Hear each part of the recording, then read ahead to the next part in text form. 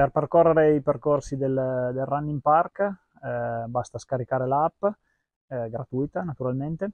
Dall'app si possono selezionare i percorsi. Attualmente il primo percorso, questo di Saluzzo, è già pronto. La partenza di questo percorso è dalla Porta di Valle e 5,3 km circa tutti all'interno del centro storico di Saluzzo. Si parte dalla porta di valle della pianura saluzzese e seguendo i portici di via Martiri si giunge al Duomo.